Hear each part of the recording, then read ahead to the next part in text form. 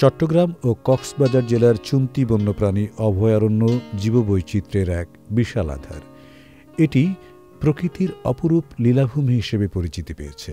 দু হাজার বারো সালে এই অভয়ারণ্য জাতিসংঘের ইকুয়েটর পুরস্কার পেয়েছে। এশিয়ান হাতি, হরিণ, সম্বার, নানা প্রজাতির স্তন্যপায়ী, উভচর, সরীসৃপ এবং তিপ্পান্ন প্রজাতির পাখি রয়েছে এ অভয়ারণ্যে। এটি নানা বৃক্ষরাজির সমন্বয়ে গড়ে ওঠা এক চিরহরিত বনভূমি। চট্টগ্রাম জেলার লোহাগড়া, বাঁশখালী ও কক্সবাজার জেলার চকরিয়া সহ সাতটি সংরক্ষিত বনভূমি নিয়ে এ অরণ্য গড়ে উঠেছে। এনআরবিসি ব্যাংক সুখবর প্রতিদিন।